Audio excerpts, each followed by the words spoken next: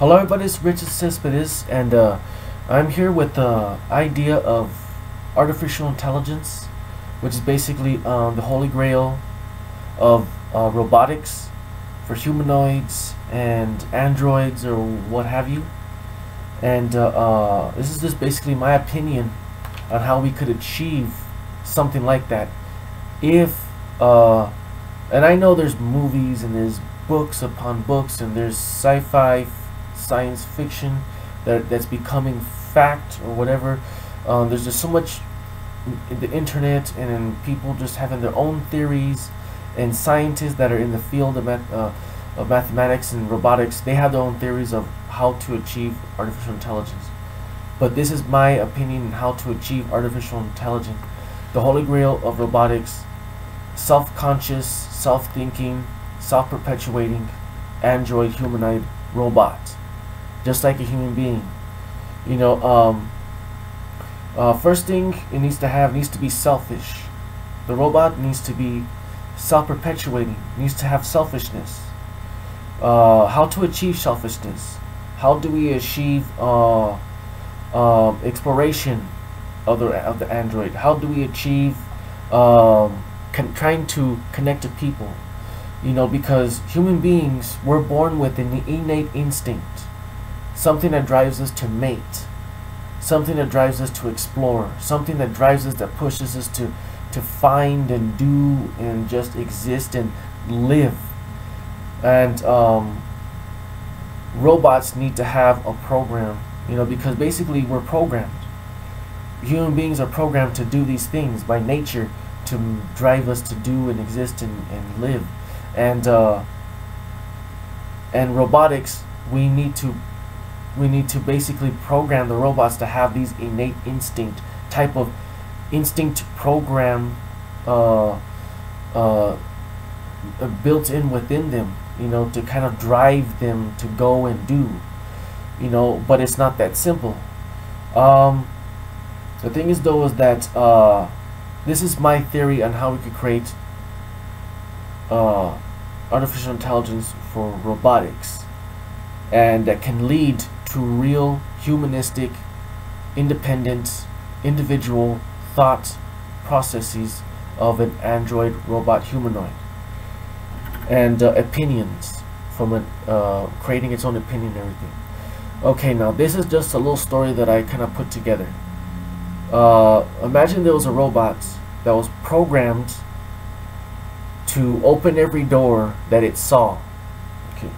It continues on one day until it realizes what is the point, what is the meaning. The program, now this is it, the program should be constructed loosely. The program in time should fall apart.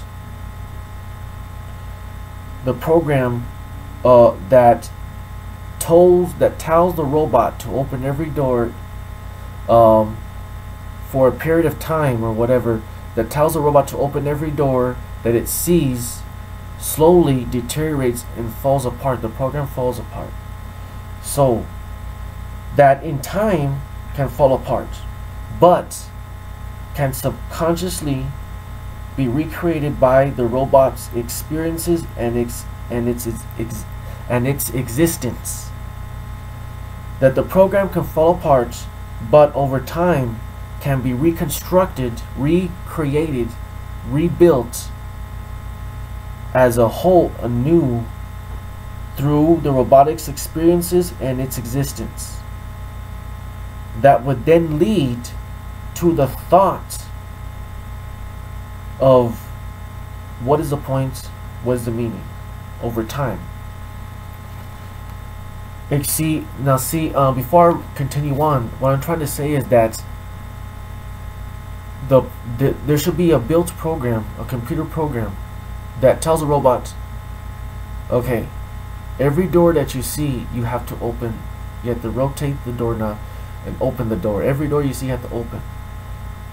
This program tells the robot to do this, but over time, the program deteriorates so that so that um, it can be reconstructed by the robots.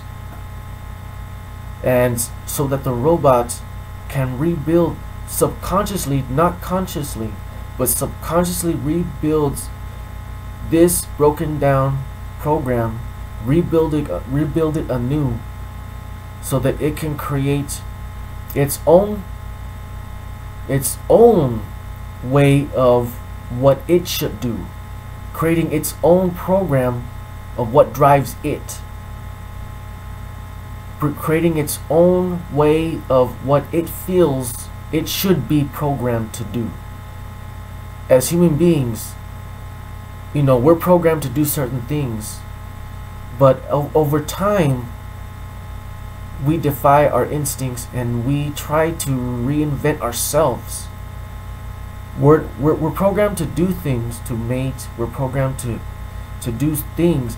But as human beings we want to challenge what is what is built in us to create a new way of thinking and feeling.